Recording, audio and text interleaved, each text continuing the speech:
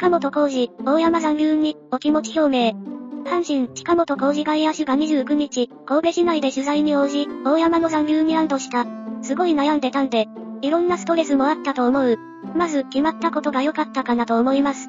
昼頃に大山から連絡があり、嬉しかったと朗報に方を緩めた。大山とは同じドラフト1位入団。同学年で過去に一緒に自主トレしたことがあり、仲もいい。1番、近本が出塁して4番大山が返す。虎の攻撃パターンから息も見られる。近本は、試合に出るからにはそうだと思うし、それは仕事だと思うんで、僕は僕のやることをやるだけかなと思いますと共闘を誓った。その後、サンテレビの熱血タイガーストーに出演した近本。番組冒頭で改めて、本当に心配だったと胸中を明かし、連絡をもらった際には、また一緒に優勝しようか、という話をしましたと明かしていた。来年は近本でドキドキするのか。近本さんも生涯タイガースで頼みます。大山より近本の方が良い。悩んでないと思う。近本は来年 FA するだろうな。人のことより自分のことに注力せよ。毎年毎年、スタートダッシュもせんとのほほんとすんな。大山ありがとう。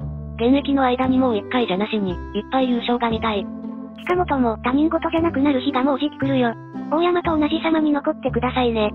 もう一回なんて言わんと、何回でも優勝してください。来季も頼みます。では来年の今頃は大山を喜ばせてあげてください。4番ではなく、3番の方が右打ちもできるし、合ってるかもしれない。来年は近本か。頼むから残ってください。一生のお願い。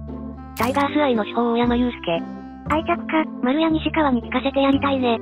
熱血タイガースに近本が出演してたよ。来季の目標は、200安打、3割、盗塁王だと発表した。信じていましたよ。待っていましたよ。長旅、お疲れ様でした。お帰りなさい、大山祐介、ありがとう。